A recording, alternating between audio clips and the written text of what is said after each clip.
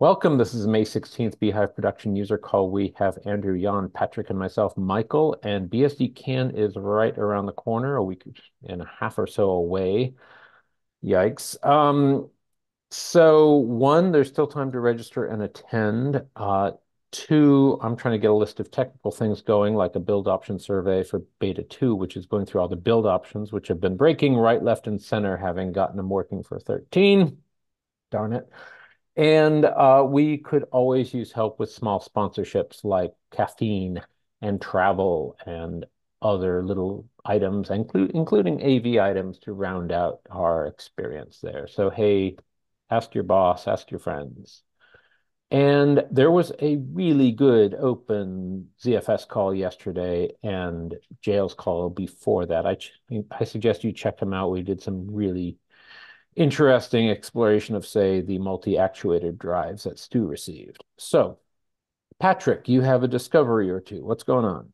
Yes, uh, I'm running the beta one of TrueNAS 13.3, TrueNAS Core 13.3 that is, based on FreeBSD 13.3, and besides minor glitches which are already fixed, I guess I stumbled into a big showstopper for bhyve, which means which is that VNC is not working for me, and I'm just running the beta since today, and I will have to investigate if that is a regression in FreeBSD 13.3 or if this is iXsystems fault, which I don't know. Um, as far as I know from the source code, they really just imported FreeBSD 13.3 release and all the bhyve code with it. Um, definitely, uh, we got all the nice improvements in terms of stability and uh, PCIe pass-through, which are working fine.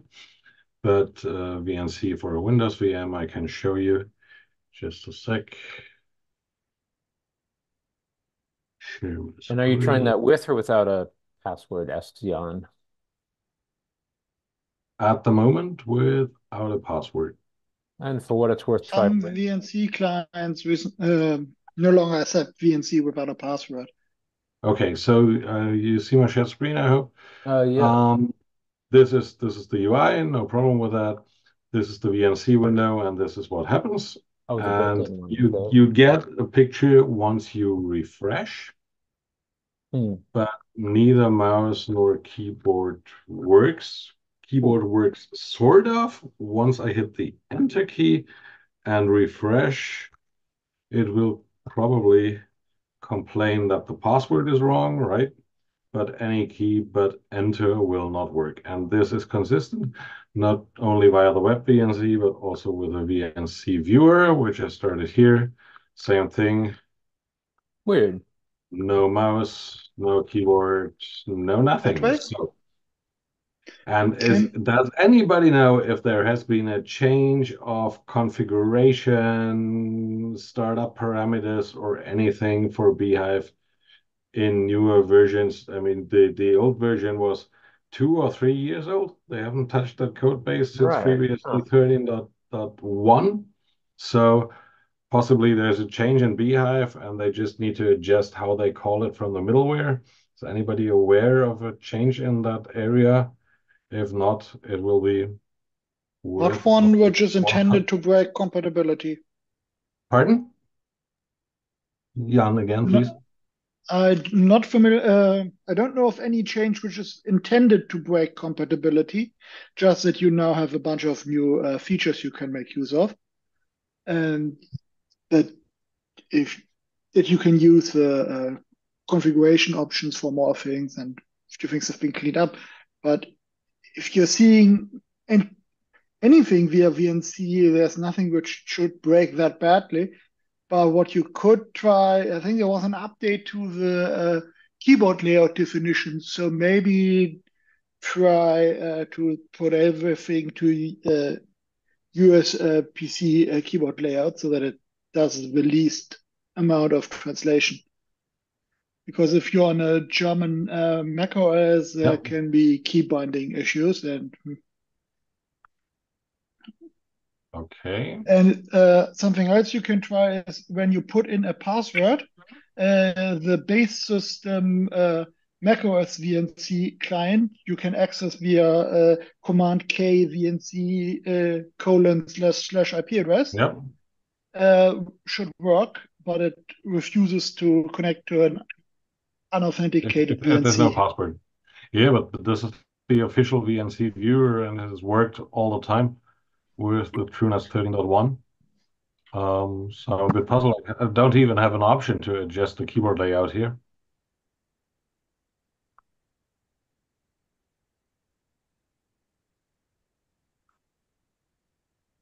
So Interesting. that's, that's definitely weird. I don't know what you I think don't know beyond watch the two code bases as they've evolved, but go ahead, others. Go ahead and welcome. Spec- Mark. specifically because Wow. I ran I ran all the nightlies they had of their new TrueNAS with bhyve on some level of FreeBSD stable along the lines of 13.2. And I installed this Windows machine via VNC and everything, mouse, keyboard, everything working. And just after the upgrade to 13.3, now input seems to be broken. Uh, And did, did you notice that that uh, announcement they made for the beta, uh, Nope. Michael? Enlighten For the very first time, I think, in their history, in the official announcement states that jails and VMs are not a supported part of TrueNAS Core oh, interesting. and only a best effort feature. If it works, it works. Charming. Yep. Yeah, we already knew they gave up. Yep. Mm. Okay, Yeah, but so- you're right about it. So for uh just to at least catch Rod and Mark up, you found that the VNC interface to VM's bhyve on the latest TrueNAS Core beta seems to have gone south and you can't quite log in. I I can try, of course, a, a Linux VM with a with a text console. Look if that works via VNC. I don't have any in production because for BSD or Linux VMs, I use serial consoles exclusively and remove the VNC device because it sucks anyway. So Are you using Yeah, all but- of the VirtIO drivers? So whenever you ins- like, yes, yes. so yes, yes. did you update them to the latest ones? Or to Uh, different versions in general? Because maybe it's an issue with that because they updated to a different VirtIO like transporter mechanism. Maybe it's it's The, as I, I'm I, Not clear why any of the VirtIO drivers would- would have any consequences for a VNC console. Yeah, Then- seems I was unrelated, I but was good point. beginning to argue the same. I have, of course, VirtIO for uh, storage, for networking. Okay, I was I know that there's a lot of like there's a there's quite a few options can't remember all of them right at the moment, but then Mhm. there, if you go through the MSI wizard in Windows, there's like 12 different drivers you can choose from. And I know I think one of them is related to either keyboards or maybe it's USB. And I thought maybe since it's passing through the keyboard stuff as a USB maybe mechanism or something, maybe that could I don't know. But Hmm. maybe that's that's the only thing I was thinking of that, that Worth a path. shot. But yeah. Yeah, so that is that, but I'm perfectly willing to put some effort of my own into that and possibly give them a bug report, including a fix, and hope they will incorporate it. Well, a report's a good start. Um, Yeah, because yeah. See- Let's let's let's start with a report. Okay, the other thing to try is to actually to try different VNC clients if you haven't done that. Use RealVNC, type VNC, and there's a third one, I think. I've they- tried the built-in web VNC and the standard VNC viewer. I have not yet tried Tiger, Tide, or whatever there is. Um, unfortunately, some of them don't work on current versions of macOS anymore. I didn't get the memo about changes in, in Apple's APIs and everything. Okay, so uh, I'll put you the announcement in the chat, Michael. Sorry, I don't have the document open myself No just worries. yet. But here's the link to the official announcement okay, from cool. systems. Ah, understood. And my quotation is a uh, paraphrased. Welcome, Mark and Mark. Yeah, remove remove all the numbers at the end, and you will start at the top posting. This is their new disk course software, which Ah, yes. always throws you in at the bottom. Well, thank you for an update from TrueNAS land. Ah, yes. Boom, boom, boom. Okay. So anyway, thank you. Let's see. Uh, Mark or Mark, any topics to share? Nothing new since my uh, question about uh, Windows just defragmenting on uh, bhyve yesterday at the ZFS meeting. But uh, Did you get to do any science on that? I mean, I turned it off and I haven't wanted to turn it back on since it's stable at memory. So I haven't had a large uh, plethora of other servers to test it on yet. So Understood. I will. I have some. I just don't have the time to necessarily go through and push all the buttons on production VMs. I have to kind of plan that out. But did it uh, improve the jail, uh, so the bhyve throughput?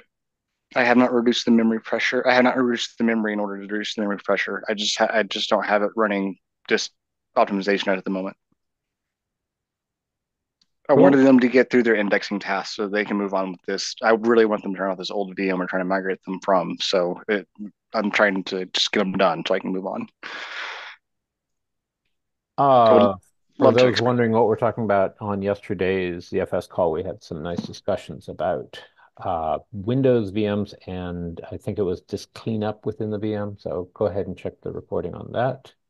It's disk optimized task and task scheduler, but it's Ah. the old school disk defragmenter tool under the hood. Cool. Okay. Let's see. Uh, Rodney, tell us more about VirtIO net and checksum. What have you it- This is more of an initial probing again. Um, the uh, ran into this on another hypervisor platform. Um, that evidently the VirtIO net um, code completely um, turns off TCP checksumming um, and UDP checksumming so that when you you have a virtual machine that writes a packet to a VirtIO net device, that device can go to the hypervisor. The hypervisor can then hand it back to another guest without ever checksums the packet anywhere. And that, that all works great. I think we actually, I don't know if bhyve is actually doing that or not. It should, if it could, but um, the the theory being that when the packet finally does hit a, a real piece of hardware, in other words, it's going to end up on a wire somewhere, leaving that hypervisor, it will get checksummed by the NIC card on its way out because almost everybody's doing TCP checksum offloads. Which that's great. Okay, so we do end up if it, the one place it all blows up is if you have virtual machines running VPNs Oh, interesting. because you now transport the packet out the VPN, which never hits a piece of hardware, encapsulated in another mechanism. So no- even when even if it does traverse hardware, your unchecksum packet is encapsulated, so the hardware is not going to checksum it. And I actually ran into this because I was I had a VM that is now in this scenario where it's actually transporting packets to another VM and that other VM is now transporting those out of the box over a VPN. And um, so when they get to the other end of my tunnel, they don't have any checksum on it. They still get they're they're just being handled by routers. Routers don't do TCP checksum on every packet, and eventually they hit the end node with a bad checksum. Um, Interesting. yeah, and So for a little bit of digging turned up these the the Linux people are going, oh yeah, yeah, you just add a um iptables thing, and they we've got this piece of code that's called fill checksum that that basically fills in a checksum for you. And I'm kind of like, you know, I don't know if I just arbitrarily want some other box recomputing the checksum of my packets. So- no, I the other workaround that and I have not tested this thoroughly is to, to you can turn off TX. You can I think you can turn off the offloads on VirtIO net. and then it should actually software compute the transmit checksums. So that should solve it. But I was wondering if anybody else has run into this and if anybody has looked closely at bhyve VirtIO net output packets to see if we're actually traversing them without a checksum. I have not used Wireshark, but I do have a little bit of familiarity with setting the VirtIO properties on OmniOS. I have put a link into chat here of how I got pfSense 95% working uh, within CARP mode. Uh, so basically spoofing a MAC address so they can share an IP address. And so that comes with its own things. I hadn't encountered the VPN issue, but um, these are some settings I use to disable either um, enable promiscuous mode or disable that or uh, enable the um, what you were just talking about the um, hardware offloading. But um, the correct solution, I think, is to put in uh, basically a flag bit telling you that the checksum is uh, not yet computed, and then move that over. And if I remember correctly, there is a field in the basically in the frame descriptors for the VirtIO net to tell the guest or the host, depending on the direction, uh, whether the checksum basically is valid or if it is uh, just delegated to the next one to materialize it. So I think there is a that long, that descriptors to move that along, and then the, if that information is properly maintained, the system should either let the real network handle it or compute it whenever it puts it in a VPN tunnel on the host. You would you would have to carry that flag into any arbitrary guest, and that guest would have to understand that flag, and that's just beyond yeah. scope and yeah. capability. Uh, um, that only applies, of course, if you do a packet I, or frame level encapsulation. If you're a proxy, uh, then you generate a new flow. So it's messy. Yeah, I, I, I guess the thing is, is probably mostly a documentation thing that people need to be more aware that that this occurs when you're using VirtIO net, that your packets are unchecksummed, and there are cases, and be be aware that tcpdump, and I'm I'm pretty sure Wireshark Wireshark probably shows it to you no matter what. tcpdump does not report bad TCP checksums unless you run it with at least one dash V. Yeah. Are you saying that as a catch-all for all hypervisors that use VirtIO, or your specific OS that I'm not sure which exactly one it is you're talking I, about? I I am saving. I am saying this appears to be, or I believe it to be, a generic VirtIO net design issue that would apply to all hypervisors and all guests using VirtIO net. They, they support leaving the checksum at zero so that you don't have to uh, yeah. go over the data trials in software. Yeah. So in OmniOS, uh, we have two different VirtIOs. We have VirtIO Net and VirtIO Viona. Do you know if uh, I, I I think Viona was more of a legacy version? I'm not entirely sure if that's true or not. do you know if it would apply to both of them? I do not because I, I the the V I do know that the VTNet or VirtIO Viona was a specialized thing that Joyent did. I believe somebody did that very specifically before VirtIO Net was available in um, oh. Illumos. Illumos.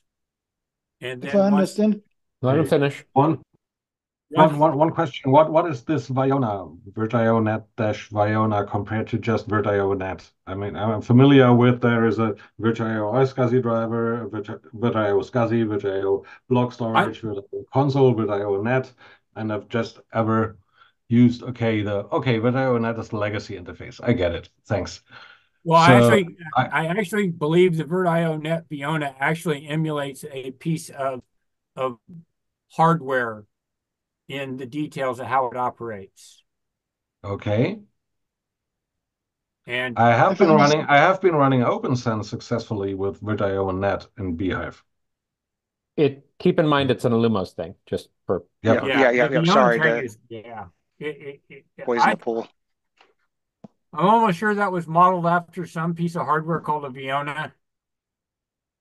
Um, if I understand correctly, uh, the the Viona integration is uh, basically the tie-in for bhyve into uh, Crossbow, so that you can pass through a VNIC basically with multi-queue support and batching and LSO, TSO, and so on, which vastly improves network throughput.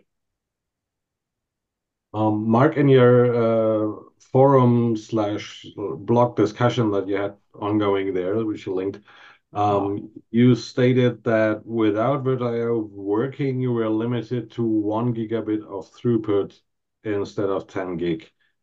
That was the E1000 driver limitation. Since I wasn't able to use the VirtIO driver, I had to use the E1000 driver. The E1000 driver is in no way limited to one gig.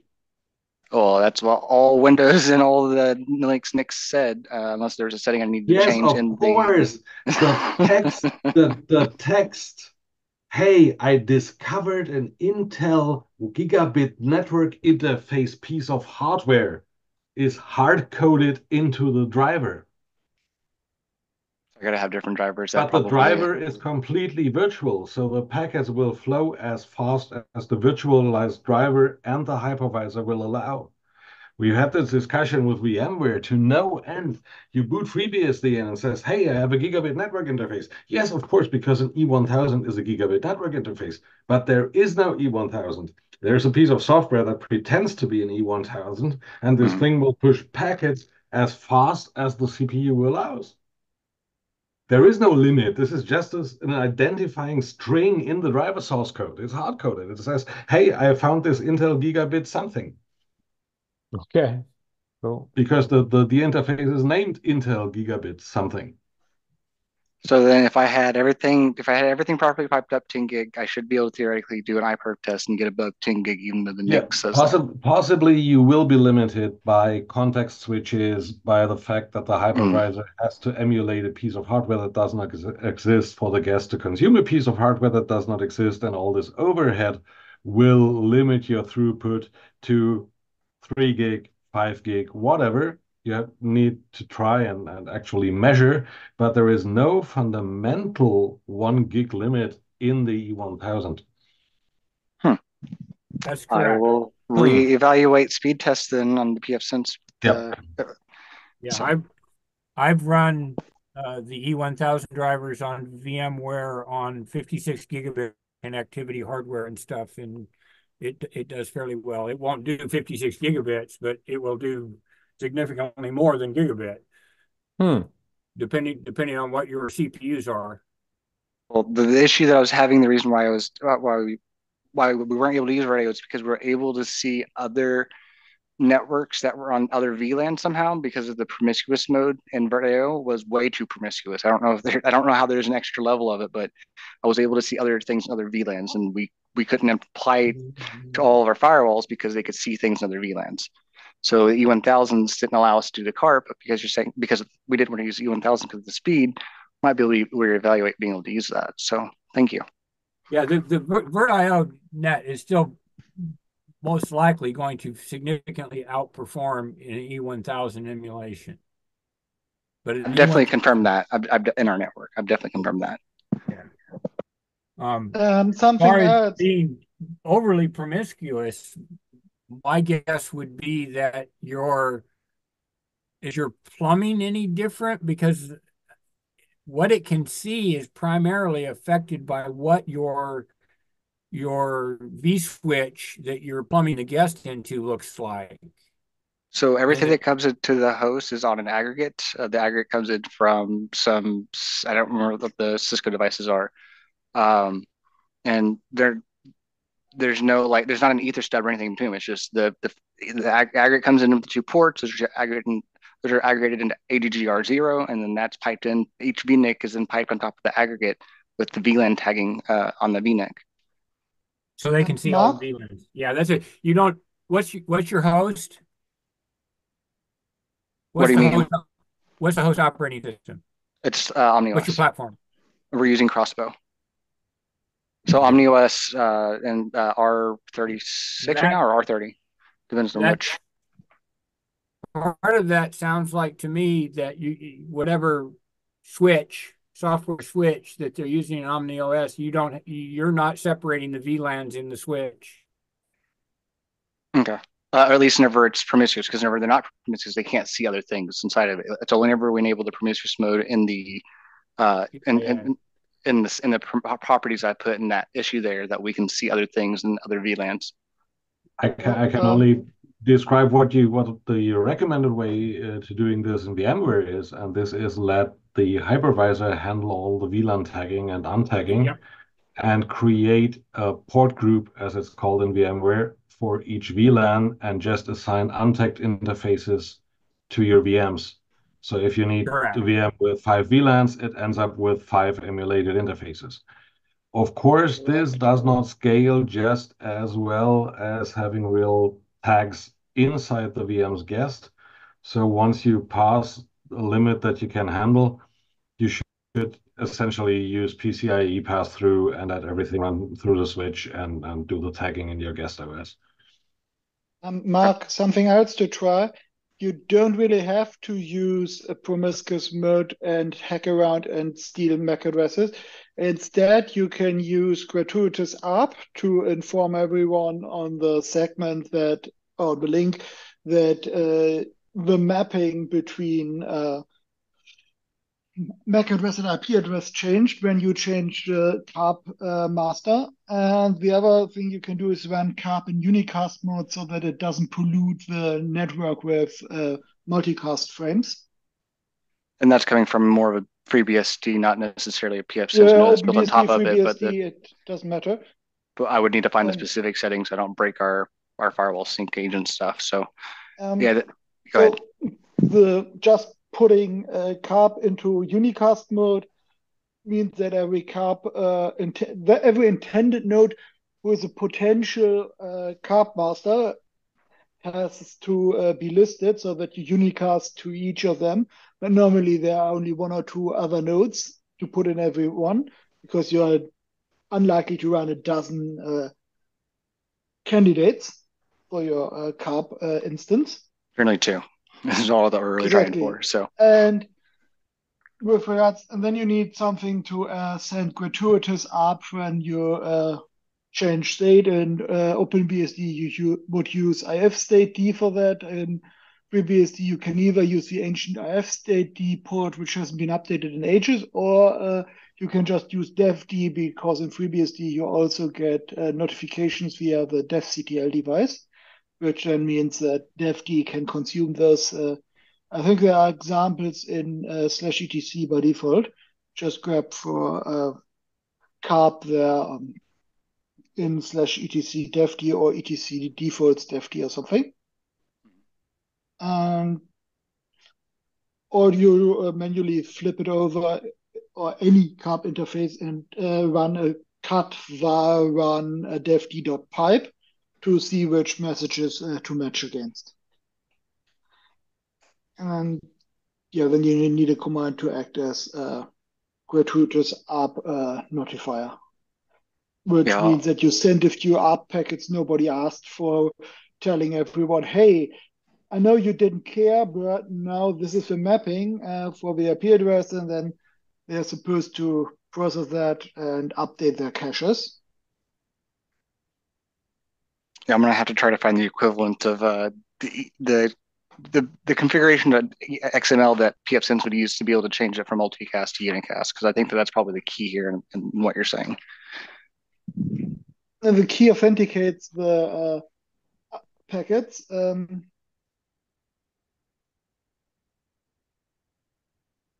what? So um, I think when you put a unicast uh, uh, or a, a, peer address in, um, yep, if you put a, a unicast address as peer or peer six, uh, then you get unicast behavior on FreeBSD. So look for the term peer. Probably... That was an etc default or an etc dev devd, Uh, what was the other one? On a FreeBSD system, uh, it would be just the peer parameter to ifconfig. Um, but I don't know uh, how many layers of indirections pfSense and OPNsense have in between you and ifconfig. A lot. Exactly. What, what, what, what is what is not in the UI and in the middleware is not supported. Don't you you have no access exactly. to FreeBSD uh, config file, which is the point of running an appliance OS with the UI and pro- commercial support. Come on. Exactly. I just wanted to warn, if they don't support it, don't try to mess with the config files. It's Yeah, not sure. your user Ah, link okay. Yeah. Now I get your point. Sorry. because the middleware will partially override you in time and then everything will explode and you're in a totally unsupported state. And they don't even have tooling to bring you back into a, a this is everything reconfigured and the rest is undone or something like that. We just take ZFS snapshots for that restore thing for that issue if we break things. But uh, no, we, we do only modify Yeah. the files that the, the middleware, the basic the front end GUI uses. We don't modify anything that the back the back uh, the lower level stuff would need to use. So Well, I, I'd suggest you you do a throughput measurement with the E1000 driver. So there is no no hard gigabit limit. It's all depends on what your hardware is capable of. And try how many VLANs do you have? uh, per host, we'll generally do about 30 to about 60, depending on how many VMs we're putting on it. We're putting about 100 VMs on a host. Uh, That's that's too much for for handling it. Oh, we, depending on the VMs. So yeah, the VMs. So okay, well, okay. The, the VMs are the We're- VMs. The we're talking about the- VLANs. the V- I get it. We're talking about the VMs themselves. That's how they're set up. But for the firewalls, it's basically 10 firewalls per host, and they have one external fire, uh, external VLAN and then one internal VLAN that then goes out to those VMs I was just talking about. I'm sorry. Oh, So okay. that's harmless. Two So then, then don't do the tagging in NPF sense. Just create virtual interfaces and let let your hypervisor do Hypervisor. It. Yeah, that's how we're that's how we're letting the because- V- VNICs do it via Crossbow. So On- that's why we're using the iOS. VNO. Having a handful of virtual NICs also helps with throughput because that means there are more mutexes to contend on. So that really, if there's a single thread throughput limit somewhere, you can hit it per interface instead of per VM if you have multiple interfaces. Okay. Well, the, the E1000 thing, I will definitely need to test that, and I will report back on that because that will be good to know that we'll get the speed that we can actually, well, it's closer to the speed that we want and still have HA. So, Interesting. Yeah, we've given you a lot of homework this week, eh? yeah, well, you know, I'm always, always trying to learn. Cool. Other networking topics. Well, on the subject of the E1000 thing, the VirtIO should still be more efficient than the E1000 because it's not emulating a E1000, even if it doesn't actually force that gigabit speed. Yeah, absolutely. The the the VTNet VirtIO net driver is more efficient than an E1000. No doubt. I think someone posited that we think the VirtIO uh, Viona was specifically for, to, for the crossbow integration on, on OmniOS or the Solaris or the illumos systems. Is that right? I don't know if that's specific to Crossbow. What I found was a couple of things. One, I found Patrick Mooney's probably knows more about that Viona driver than anybody does. And unfortunately, he no longer comes to this call. Um, but uh, the it leads me to this man page of Illumos called the Mac 9E interface, which scrolling through it, it basically looks like this framework. They call it a network device driver overview. That and they call it the Mac framework provides a means for implementing high performance network device drivers. So to me, this this Mac 9E thing looks a lot like our iflib, and that this basically is a common framework for supporting all Mac type Ethernet devices. Um, and basically Viona is heavily optimized to match that so that you're when you're transitioning from a a guest um, in bhyve on illumos to Ethernet driver stuff in the in the hypervisor kernel. You you have a common format and common structures to everything and stuff. I mean, VirtIO Net, if I'm not mistaken, was written and optimized to interface with the Linux kernel stack. It was not a, a generalized thing. Just like there's another one called VMX that's for VMware. That's another virtualized driver. It's very efficient. Um, I actually run it on KVM on on machines. Um, that was written by VMware to optimize the interface between the VM kernel and the and your guest on VMware. I mean, the source code to that one's actually available for for VMware VMX. That's a public source code. In fact, just no, FreeBSD doesn't. KVM has a VMX emulator. You can use it instead of VirtIO Net. Hmm. And it's pretty efficient. Fact, I should go try that and see if that eliminates my checksum problem. Oh, interesting. Because I've I've run I've done what I'm doing now on Proxmox, a whole bunch on VMware, and I've never run into this problem when I tunneled packets off the box. My checksums were crap.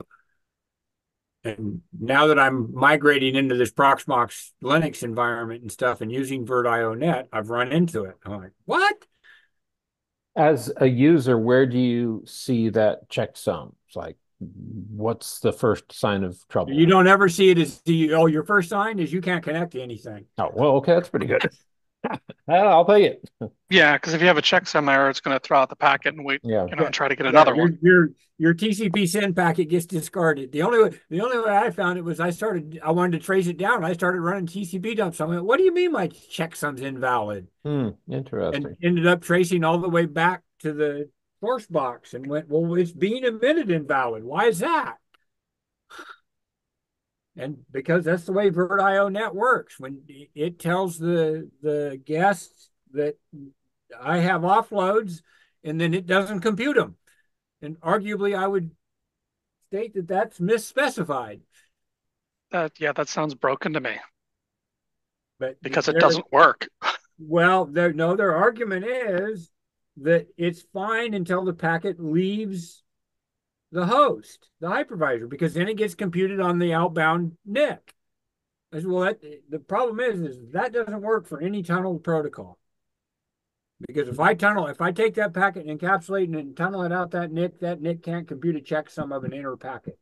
But Well, That's at the no very least, if you're running under a under a tunneling protocol like that, then they need to, uh, you know, whatever's doing your tunnel needs to account for that and say, hey, okay, at this point, we're going to compute it because it won't be able to be computed later. But this is no different to having a locally generated frame which has not yet computed a checksum. So if you have an mbuf uh, uh, for a packet and you want to use it with hardware uh, transmission checksum computation, it would be the same thing. The checksum is empty, so uh, then the hardware driver would let the hardware compute it on transmit. So the, The real pro- problem is that they kind of it looks like fo- lose this uh, state bit, which tells them, oh, this packet is tr- trusted to be correct, but there is no checksum computed for it. So it would have to uh, basically uh, perform the delayed checksum computation. It doesn't. So there's, in my Yeah. opinion, the bug. Not that I- they I- don't compute the checksum uh, during the copying it out of the ring buffer, but that uh, they uh, then lie about having a valid checksum on the receiving end in the host and forward the zero or completely uninitialized checksum value over. It's I it's have not the creeping feeling that this is that this is related to the large performance impact I see when I NAT with a VirtIO network driver in a VM And uh, if I turn off TCP checksums in the VirtIO interface, everything works as expected as soon as it's turned on in the driver. So it tries to offload to some hardware which isn't there in the first place, then performance drops to almost a, freeze. Um, so I guess I'll have to revisit that ticket that I gave Kristof Provost about that. Uh, maybe maybe it's all not entirely anyone's fault, but just the a false assumption on the part of of VirtIO that some later stage, preferably hardware, will always be able to do the checksum, which for many scenarios in virtualization just isn't true. So thank you very much for pointing that out. Welcome. I just my that's my feeling on it is there's a big piece. There should be a big giant warning page in, in the VirtIO net driver. This driver does not actually compute the checksums. oh, it, it does if you switch off uploading, doesn't it? I'm not positive of that. Okay, we have at least in FreeBSD. I mean, in the in the FreeBSD guest.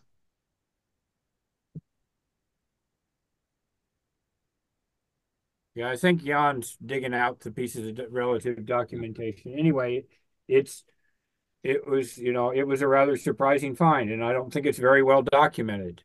Yeah.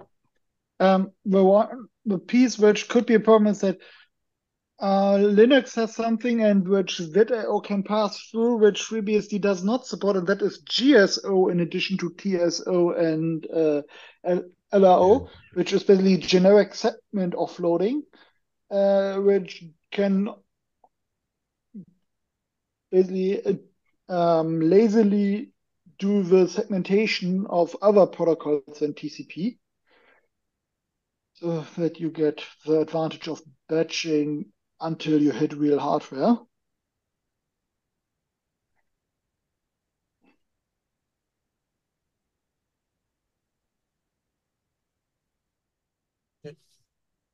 Hmm.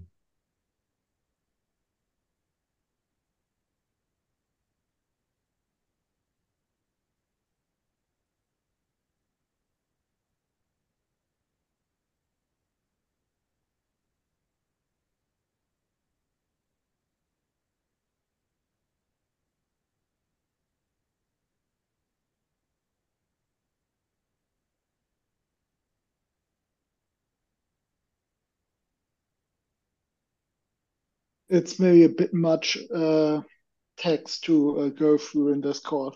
Understood. Well, interesting. Uh, well, great find. Goodness.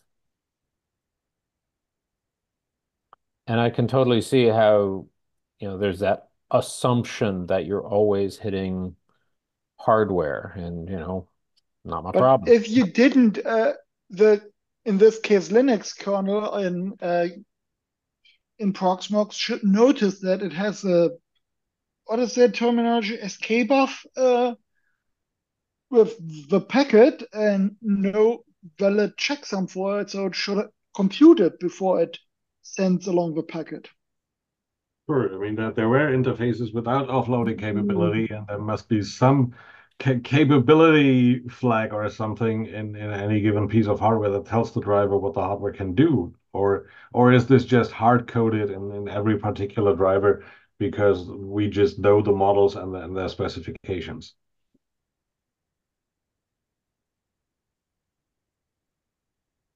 Or if the driver, if you're on hardware that didn't specifically support does, the, offload, does, does, does the driver stand driver a chance could do the Does the driver stand a chance to ask the hardware what it is capable of? Or is this just hard-coded because we know an Intel gigabit can do this and an Intel X something can do this and a Broadcom can do this?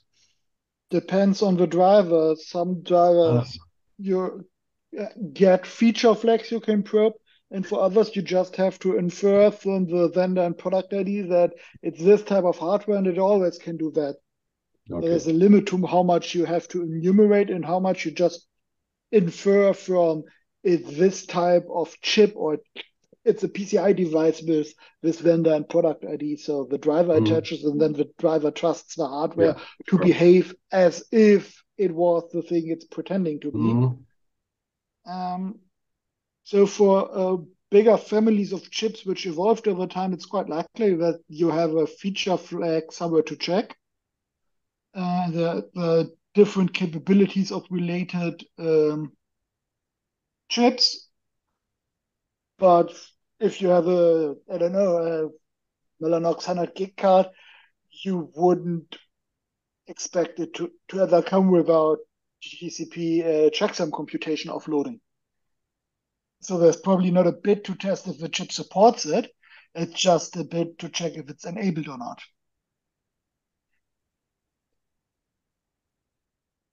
Would it be helpful to make a list of things to test?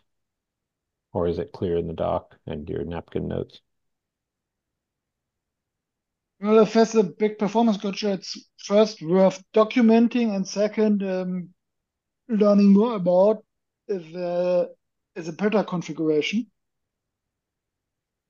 Because it could also be that if you just make use of this offloading, something better, because performance may be suboptimal, but it should not drop off a cliff like uh, Patrick described.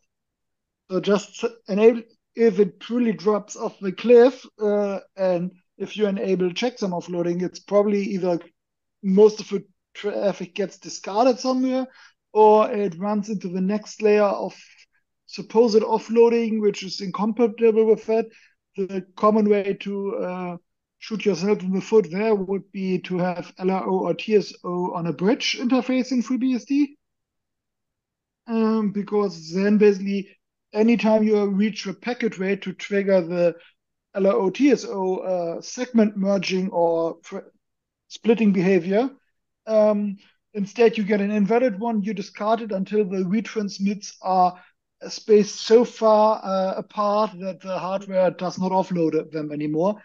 So basically, anytime you have a burst of throughput, the connection hangs until the congestion control considers this such a terribly slow connection that it packet pacing is slower than the minimum rate to trigger the offloading.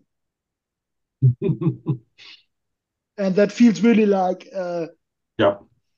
That, that, perfect, that perfectly describes at the edge of the Wi-Fi reachability. Here. It's like you have to have several milliseconds between each packet.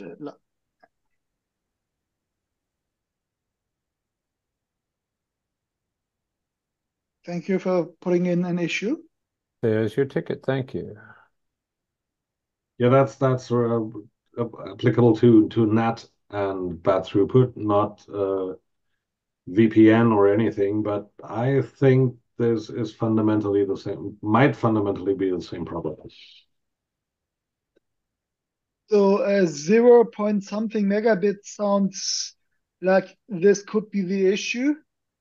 Um, I I didn't know that there is a rate below which uh, oh. the driver will not use offloading anymore. That's no, so the issue is that to do a TSO, the driver has to buffer the uh, frame and wait for new segments from the same TCP flow to uh, merge in with that or in the other direction split up. And here the problem is you don't want to delay too long. So basically, the moment you have something uh, in your queue, you start a short timeout, and then the yeah. timeout expires, the the unbatched uh, frame gets forwarded. So you you have a limit on how much uh, basically per hop delay you add by waiting for an opportunity to batch stuff. I'll I'll try to to to reproduce it in in bhyve, I guess, in my local system, where I have the option of changing the emulated network hardware, so I can compare um, E1000 and VirtIO. But so I guess Kristof is right. There is probably no bug in PF specific to the scenario, but it's just the, yeah. the entire setup. And unfortunately, with, that, with, with, with that cloud provider, I don't have the option of changing the network interface. Yes, yeah. Okay. Can you share the IF config output with us from the uh, system where you reported the bug on? Just right now? Yes, of course. Yep. Which uh, the the probably the first two or three lines are the most interesting one. So what again, please? ifconfig and What, heads? I have config. Uh, and the maybe IF your config. uh, dot dash IF v or something? no, and just for the IF config, mask out with some kind of asterisk or whatever what you don't want to share, and the other part would be the IF config settings in rc.conf, which offloading features you have disabled. Then no, no problem of sharing a public IP address. I mean, it gets scanned Um, 24 times 7 anyway. People in, in firewall bulletin boards make so much fuss about their internal network structure. Oh, I edited No, I out more the RFC 1918 uh, addresses. These are not security relevant. If they are, you're already screwed. yeah, but there are commands you really shouldn't uh, share the output of, like wg uh, showconf or something. Yes, yes, yes, of course. No private keys. So, Exactly. Um, okay, so this is currently yeah, the current config without anything disabled, but as recommended in the issue, I have in sysctl.conf, I guess, or is that in loader.conf? Uh, it would be. boot loader.conf. I have this one Oh, in loader.conf. Wait, in loader.conf? Yep. You put your IF config lines in loader.conf. No. No, no, no, the, the last one. Hardware VTNet checksum disable. Oh, um, yeah. The question is what? And and and this makes it fast again. So this was the alternative way Okay. of just disabling uh checksum offloading. Yeah, okay. So uh, you're ha- having But- issues with the with their hypervisor stack Yep. underneath your virtual machine. I'm Okay. wondering, I'm wondering if the, the difference there is whether you're computing the checksum in the guest or the host, the hypervisor. It I think is. if This HWVTnet.csum, some underbar disable, you actually end up calculating the checksum in the host, in the You hypervisor. do And same as it, a video. Sorry. yeah, and, yeah, okay. It's the same as if you uh, disable the checksumming with the IF config line you provided in your issue. Disabled RX checksum, TX checksum for IPv4 and IPv6. I'll, I'll Um, just I just fetch the original IF config without that loader.conf entry, so you can see which features the the emulated hardware is supposed to offer. And and yes, Rod, I'm, I'm using this for a VPN to to circumvent geo blocking. I just have a single five dollar per month virtual machine in the US for reasons, you know, and then I use WireGuard to connect, and the host doesn't stand a chance of doing any checksumming at all. So I quick question. apologize. I have to step away. Okay, Um, no I will talk to you guys later. Andrew, take care. And Mm, just bye. quick question, this uh, syscontrol effect pushes the checksumming to the host, to the vest guest, or off on either one? Um, the guest thinks it pushes the checksumming to some hardware, and this hardware must be provided by the hypervisor host in some virtualized hypervisor thingy kind of way, of course. Got it. And a naive question here, are there any CPU feature flags that specifically assist with the offload, which I'm guessing is handled by an ASIC and on NIC, but for virtual environments, is there anything to? There is no hardware get it. because the checksum is so simple. It's just an uh, basically a one's complement sum. So uh, it's just adding up the 16 uh, bit uh, half words Okay, uh, in the packet uh, and shifting around. So that it's so trivial, uh, which is also why uh, the hardware offloading for it is so old and common. The next problem would be when you move the frames around that, yeah, and bridge it, uh, you have to provide valid Ethernet checksums, but that's also Okay, done by the so NIC. So Jan, this is what you get I- when you don't disable hardware offloading. Good. So this is I what the driver this is what the driver thinks it has got in terms of hardware support. Mm-hmm. And looks with that con- decent with, with that configuration, performance is just abysmal, right? Um, for WireGuard, For for WireGuard, everything. right. For WireGuard, not for traffic that originates in the VM, but the only purpose of this VM is a WireGuard gateway. That's interesting because um, WireGuard should just generate. Um, what's the MTU of a WireGuard interface? 1420, small enough. Okay. Um. So you're not. ge- Hmm. Oh, well, there can there can be an issue. Do tell. Well, his his VTNet interface is configured with an MTU of fifteen hundred, and he's then going to push those packets into WireGuard. What does WireGuard use? No, no, my? WireGuard- Less my than 80 WireGuard- bytes of overhead. It fits. Yeah, my WireGuard interface has got an MTU of 1420. As soon as I disable hardware offloading, all of this works blindingly fast. Yeah, It's but we got to be careful about what we say when we say disabling hardware offloading, because I think actually what happened when you set hwvtnet.csum underbar disable, from my read of the man page, and I think your output that you're showing with your VTNet device there is actually is what it does is it disables the appearance of checksum offloading, which then pushes the checksumming into the guest. Yes, of course. Yes, sure. That's the point. Uh, okay, above somebody said it pushes the checksumming to hardware on the host. It does not. It pushes no, it no, to no. software The in guest- the guest. The guest thinks it can offload the checksumming to some hardware, and if the traffic is encrypted and there is no TCP in place on the outermost frame, in the outermost frame, then it plain doesn't work. So just a sec. Um, that's incorrect.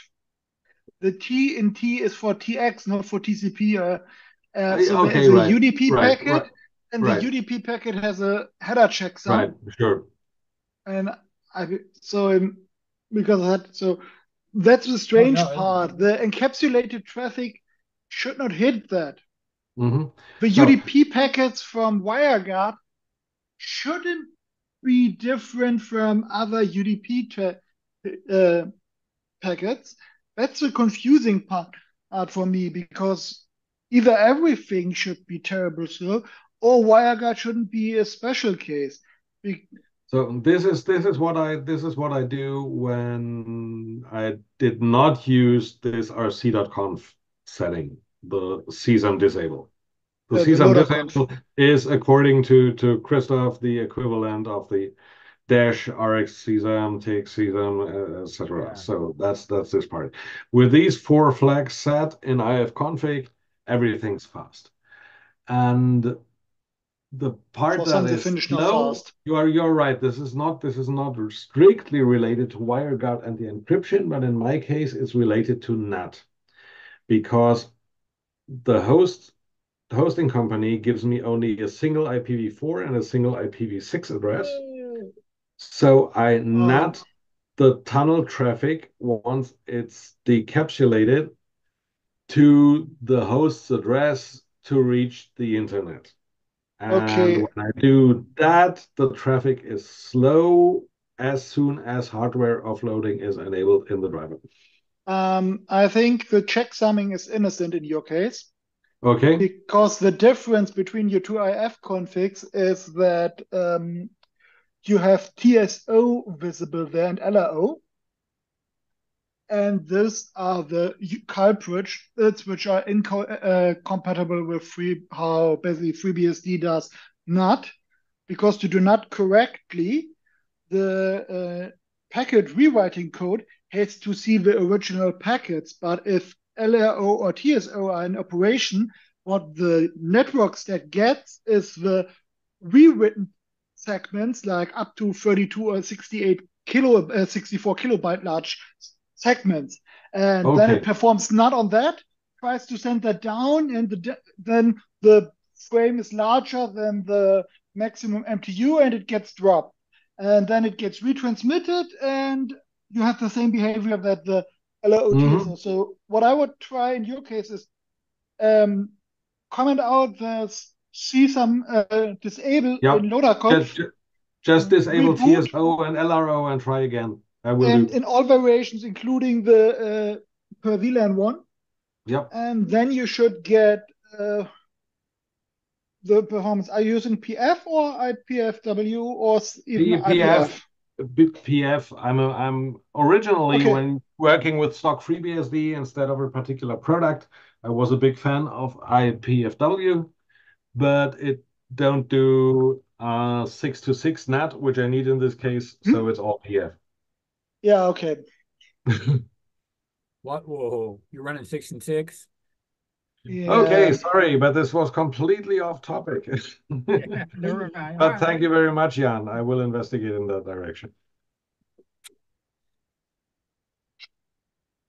Yeah. Because your behavior matches exactly what I've seen before with LRO TSO, Yeah, and none of that is checksumming related. Yeah. But what's happening is that you aggregate up a giant imaginary Ethernet frame and then try to uh, send that out. And the driver will just say, sorry, this hardware can't, even if it's just virtualized, can't uh, transmit a 32 or 64 kilobyte segment and just drops it.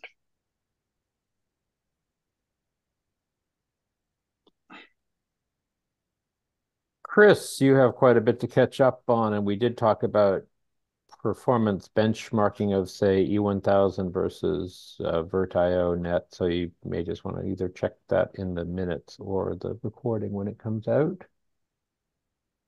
Sure, we'll do. And Jan, Actually, I've got a please. question for some of you, maybe, um, if you have an answer, I don't know. Um, I got, um, actually, I got a news bit and I've got a question. So basically, let me start quickly jumping with the news bit. There is plans for an enterprise working group next week. Um, I don't have the particular date yet, but um, it looks like either Mondays, Tuesdays, Thursdays, or Fridays um, around, uh, let me think, uh, 10 to 11 Eastern, I think. That's that's kind of the uh, the time frame that we're looking at. Uh, Greg sent me a couple dates and uh, time suggestions, but he has not sent it out on the newslet on a newslet uh, on the news on an email uh, list yet. Um, and the question that I have is, Greg pointed to me to a recent podcast around Oxide, and they have uh, developed something called, I don't know if you've heard about it, Propolis, which is a bhyve virtual machine manager, and it has implemented uh, live migration. And apparently in illumos, there is live migration code that supposedly works on AMD as well as Intel. And I was wondering if anyone, if any one of you guys have tried that, looked at that, and what your take is, whether that is possible to port to FreeBSD or maybe there's such a divergence. I don't know, but I was just looking at that right now, and it looks like, um, at least from what I see, there's headers imported from FreeBSD into illumos, so it's actually going the the opposite direction. But I have not um, really dug deep yet. Can you link that? Um, you want a link? Hold on a second. Yes, I do have a link. Um, That should be Oxide and Friends, and I believe Yes, it's Rust based for what it's worth. It's their own Yes, front end. Yes, exactly. Yep.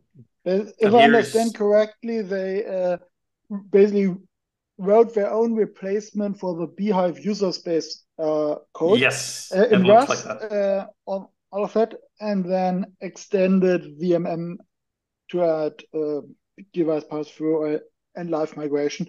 But uh, even there, you can only pass through paravirtualized drivers if you want live migration. So because it's meaningless to have live migration to another host when you pass through physical hardware Yeah, then you can't, obviously.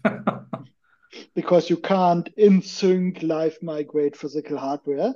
I have yet to see a robot unplugging PCI cards and plugging it into the other system while the VM is migrating. I can I can envision a world where you might have the exact same piece of hardware in the other box and exactly configured into the same switch. So I could actually have a pass-through PCI NIC card that migrated with the VM in a very controlled scenario. I would I would Just consider reserve that the power device. virtualized because you would just have a very thin glue driver in between the virtual functions to do the to tie in the state and synchronize it, but you would still have a piece of software in between there. It's just that normally it's out of your fast path, which would be really neat if they get that working. And the other part is with uh, things like NVMe over fabrics or uh, potentially uh, non-transparent PCI uh, bridges. You could also do uh, unholy things.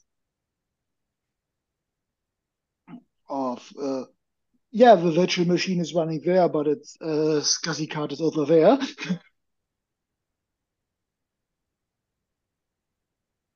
so that you disaggregate your hardware. but that's mostly sensible thinking, which IBM writes uh, marketing papers about. Chris, anything else?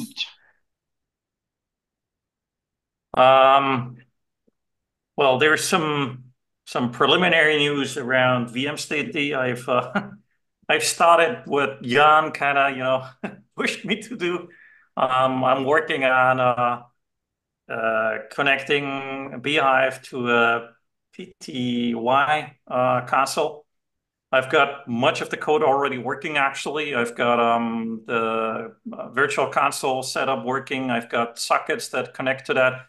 It's built to also allow um, multiple clients to connect, one on a right on a regular file Unix level socket and also on a TCP IP socket. Um, the code is generic enough to actually allow, let's say, connections over the network. And um, I'm just, you know, working out the glue at the moment and building additional test cases to verify that it is actually working before I put the whole thing in. Cool. Other topics and questions and all.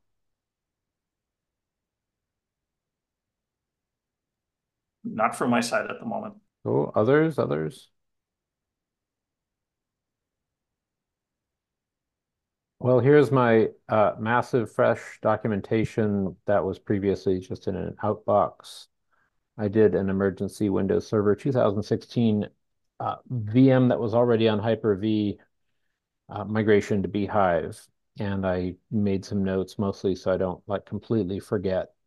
And some of it was just preparation, like document a few things, maybe add those VirtIO drivers in advance, enable this uh, the out-of-band console for Windows, the SAC, which is useful because it shows up in bhyve as a serial console device, and you can do shutdown and other stuff, especially. You can even jump into PowerShell, which is nice.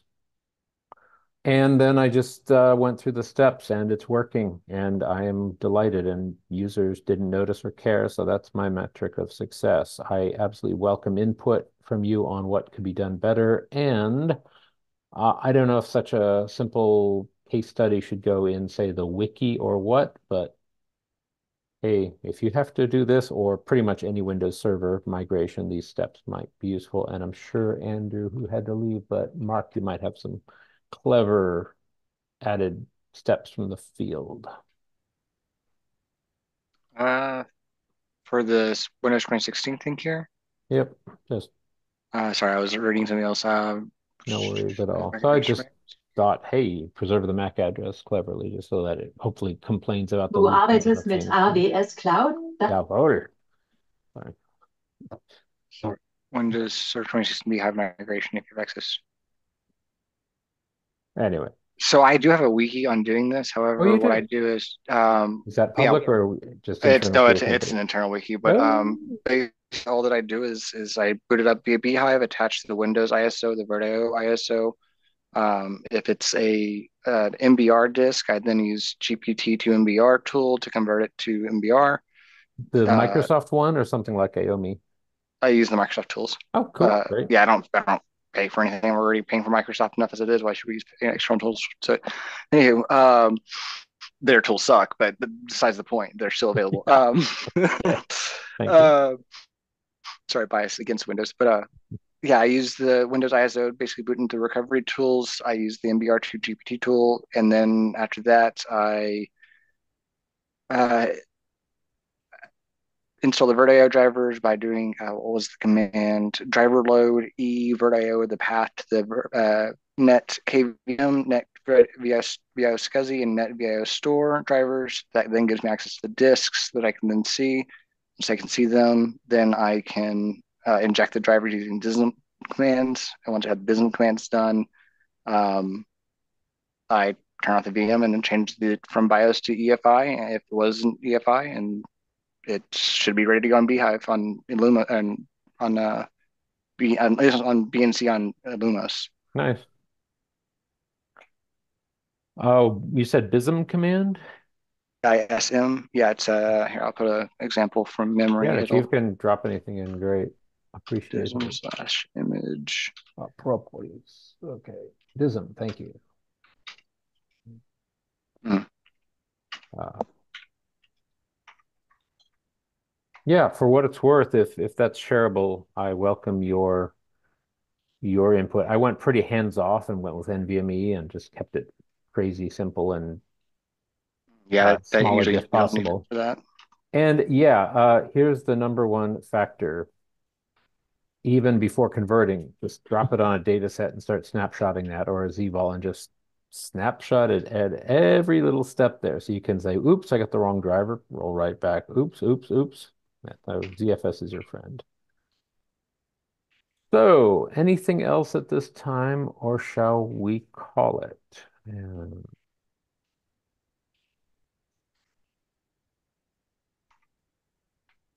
there's a Polis link. Thank you for that. Oh, good man. Thank you for that syntax. Be something like that. It might be a little off, but it should be pretty close. Yeah, But no, awesome. Just knowing that it can be done is helpful.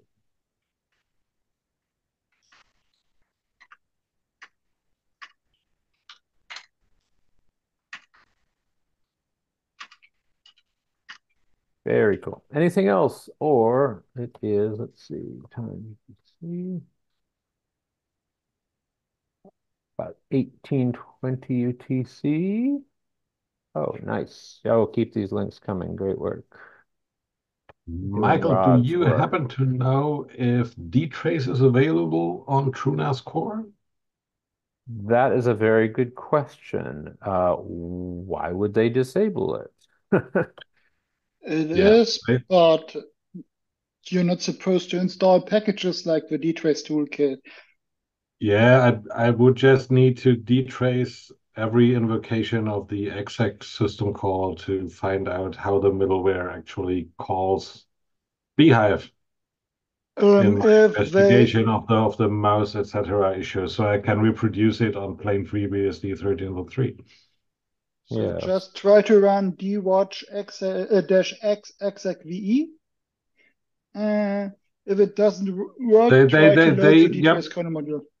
Uh, DWatch is, the mom- DWatch is there. God bless Devin. Ah, and, it's in uh, TrueNAS Core. so that's good to know. Yep.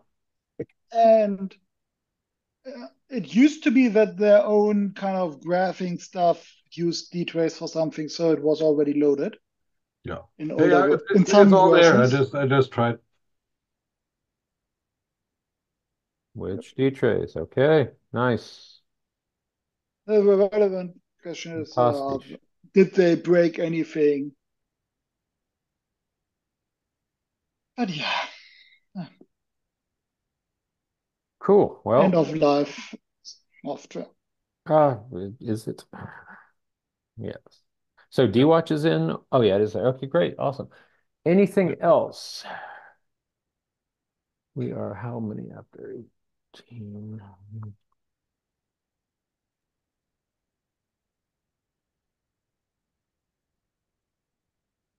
Well, Chris, do you want to do the honors? Like and subscribe. Thank you, everyone. Take care. Bye, everyone. see ya. Have a good day. Thank you.